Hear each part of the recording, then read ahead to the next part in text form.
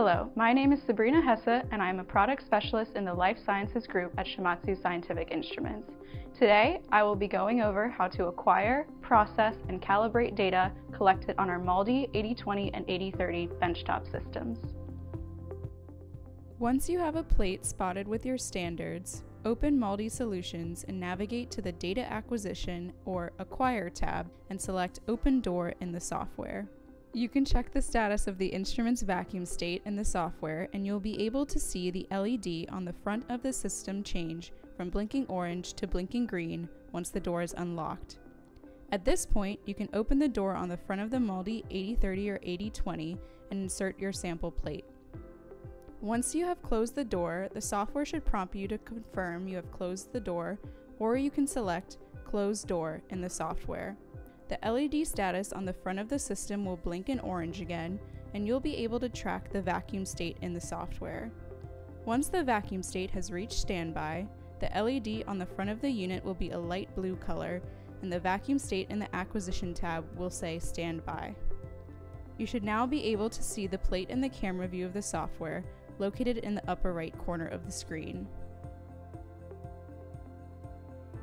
If you need to align your plate or change the plate type, navigate to the Target tab in MALDI Solutions. Selecting the Align Target option will allow you to set the stage positions of the top right, top left, and bottom left spots on your plate. Once your plate is aligned, navigate to the Acquire tab in the software. We will now run through the steps for data acquisition, processing, and calibration with our standard TOF2 mixture spotted with CHCA as a matrix. Make sure the tuning mode is set for linear. Set the mass range from 650 to 3600. For calibration, set the spots option to manual positioning and define the raster as a regular circle serpentine raster. The maximum spot outer diameter is 2,800 with 199 raster points. You may want to adjust the outer diameter of the target area depending on the amount of spreading you see in your spot in the camera view. The accumulate setting should be set to 5 shots to accumulate at a laser rep rate of 100 Hz. For calibration purposes, blast shots are not required. Make sure that data quality is not selected. Select a pulsed extract value of about two thirds of the mass range. In this case, we can select 2500. We should set our blanking to be below our targeted mass range, so we will set it at 550. A good starting laser power for lower mass range peptides is about 25 to 30. We will set the value at 25. Navigate to the spot with your standard by right clicking on the camera view and selecting Go to Location. Input the location of your spot and verify that the location has changed in the bottom left of the camera view. Once you're sure that the crosshairs are centered on your spot, select Operate.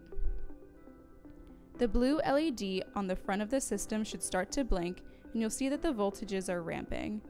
Once the vacuum state is in operate, the light blue LED will have turned to dark blue. You can then select Fire to begin data acquisition. You can shift the center of your target area by clicking and moving the crosshairs in the camera view windows if you would like to analyze an area outside of the spot center. Once you have acquired your spectra, you will need to first process the data before calibrating. We will now move to the Data Processing tab, which is located to the right of the Acquire tab. For peptide calibration, a recommended baseline subtraction range is 3 to 15 set a value in the Process tab, and then click on the Spectra button on the bottom right to apply the processing parameters. Make sure to zoom in on individual peaks of interest to see how your processing parameters affect your spectrum. For peptide calibration purposes, you should aim to see isotopic resolution in the peaks you will be using to calibrate. The smoothing method we will use is Gaussian, the recommended range for the smoothing filter width for peptides is 1 to 5. Try optimizing and applying values in this range to see how your spectrum changes. The peak delimiter method we will choose is threshold apex, which will label each peak at its highest intensity value. Apply all your changes and then confirm that each individual peak in the spectra looks good. Once you are satisfied with your processing parameters, save your acquisition file. Now we will navigate to the Calibrate tab. Select the option to load references. Search in your existing references for the applicable reference file. You can then scroll through the masses in the reference list. Make sure that the mass values in Daltons are either average or monoisotopic based on the spectra you collected. If you need to add an additional calibrator, select Add Reference and you can input the mass value and description. To remove a calibrator from your reference list, select the red X next to the mass value of your calibrator. Once all the calibrators and values are set up correctly, you can select Save References if you want to reuse these calibrators in the future. In order to calibrate, zoom in on the spectra to peaks of interest. In this case, we will select the monoisotopic peak label for each calibrator. Once you have the peak label selected, click on the option to correct this mass. Using the drop-down toggle, select the applicable calibrator value and click on the green checkmark to confirm your choice. Repeat this process for all peaks on your reference list.